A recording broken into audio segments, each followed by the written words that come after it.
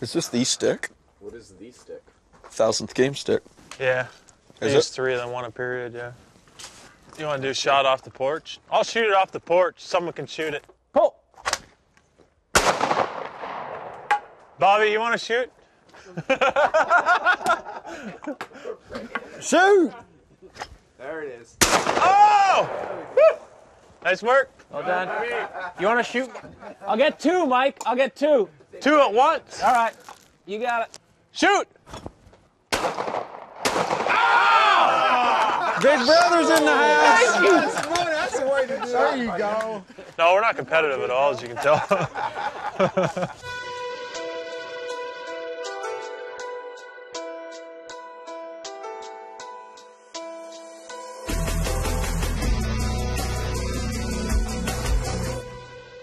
Nashville Predators Beneath the Ice.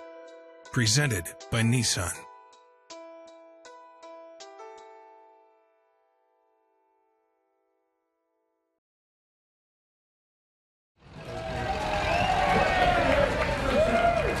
The star of our show back in the lineup, number 24, Eric Nystrom. I'm gonna take a quick video for, for my Snapchat, so everybody say hello. Everybody say hi. Good crowd. Got our guest Mike over there. Give me the finger. Perfect. In his second season with the Predators, center Mike Ribeiro has continued to impress teammates with his personality and skill set. Number 63, Mike Ribeiro. He's just a really funny guy to have in the team and never too serious about anything and I love that about him. Just just really experienced, been around and just a great guy to have in the team. Mike Ribeiro, I think, is one of the most talented players that I've ever coached. He makes everybody else better on the ice. He's got a set of skills that, that a, a lot of guys in this league don't have. There's definitely a reason why he's been here for so long, and, and uh, I like playing with a guy like that. Ribeiro joined an exclusive group this season, the NHL 1000 Game Club. It's a lot of sacrifice. I think you know, like people don't realize how, how much we're on the road or moved a lot, and, and uh, you know, for kids, the kids uh, switch schools the last three, four years a lot, and new cities, new friends. So it's a lot of sacrifice for them. Mike is only the 300th NHL player to hit this mark in league history, and only the third player to do it as a Nashville Predator. He may have played in over 1,000 games, but Ribeiro doesn't appear to be slowing down. He and his line mates, Filip Forsberg and Craig Smith, have been on a tear lately, decimating defenses across the league. I think we've been playing pretty good lately and all three of us have been playing good individually and that brings the best out of everyone else. When a line works, it's never one guy, it's really three guys working at the same time. And you know, when you work, good things would happen. Like Ribeiro, fellow center Mike Fisher is also now a member of the 1000 Game Club.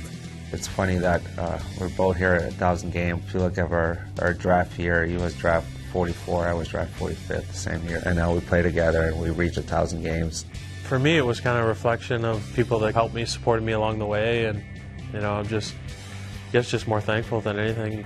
While Ribeiro is known for his deft passing and puck handling abilities, Fisher is more of a grinder, someone willing to do whatever it takes to help the team win.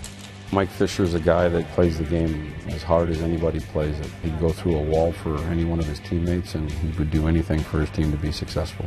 You know, he's a guy in practice that I don't go against. I'm like, oh, I'm not going to go against Fish. He works too hard, you know. No one can dispute Fisher's work ethic on the ice. And while he's now enjoying being a husband and father, his definition of downtime is different from most of his teammates. We just pray for this food, and we're grateful. In your name, amen. Let's eat. Ever since I was a kid, I've enjoyed being in the outdoors and uh, you know hunting with family or friends, and everything just slows down and it's peaceful, and you can think clearly. You get a chance to just slow down. We can just walk down below. I'll show you a little cave. Robbie, we got to get you down there. Snakes for sure. Snakes in a cave? Not going there. no. I'll lower him down by his hair. Rob, that's what they did to me. Look. I've always wanted a place to manage for whitetail. Whitetail hunting is my favorite thing. So this was kind of an area that's that's close. It's a good area for hunting, and and uh, just kind of fell in love with the property. To me, just being outside, and being together, and around family and friends and good people is, is what it's all about. Here he comes, Toronto leprechaun redneck. What'd you say? Toronto leprechaun redneck. the southern Ryan Ellis. Do you want to hit the cave here for a second, or Yeah, we can walk. we're- can walk and hit that one of the caves here. We call it Snake Cave. Just stop talking, please. Get up! You got a Tarzan it in. That's awesome. We can go up. Think you're pretty good at that? My dad always said, if you're gonna be dumb, you gotta be tough. Bud's one of those. He ain't tough. you come to hunt camp, it's like you, you're an open target to be made fun of, and that's the same as the locker room. If you ever miss a deer or two, you're, you're never going to live that one down, that's for sure. It's like empty, missing an empty netter. Holy. That is cool. That's a cave. Have you gone right down it? I'm going. Heck yeah. That's where the rattlesnake den is. Shut it. Shut it, Bobby. I heard that. Oh, Bobby. What's your line, Bobby?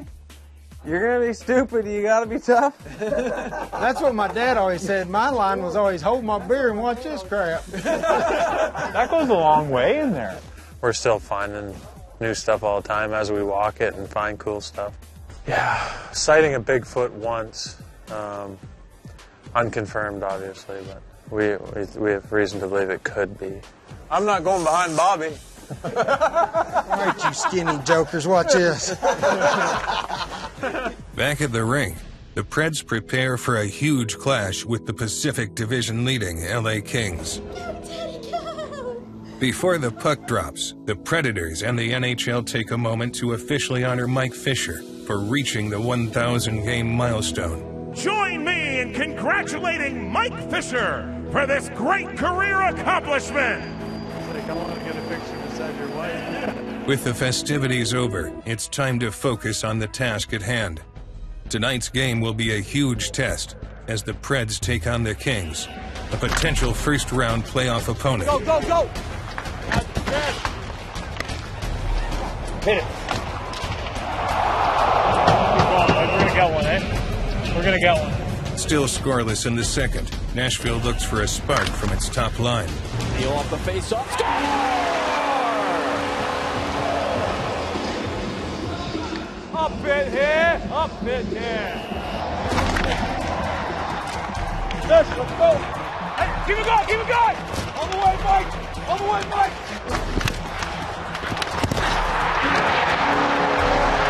Mike Fisher makes it 2 0 and gives the fans another reason to roar for number 12.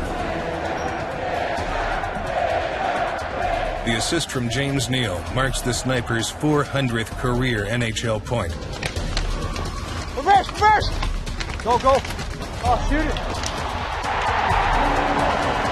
Forsberg's 30th of the year makes it 3 0 Preds as the teams head into the second intermission. Lock it up. Lock it up. The Kings don't go away quietly and pull within one.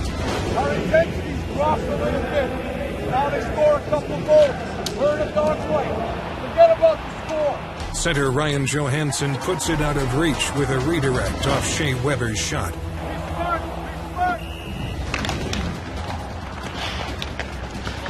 Go, go! Kick, kick! Now Josi, a chance at the empty net. An empty netter from Roman Josi makes the final tally 5 2 and puts an exclamation point on a memorable night for Mike Fisher and the Predators.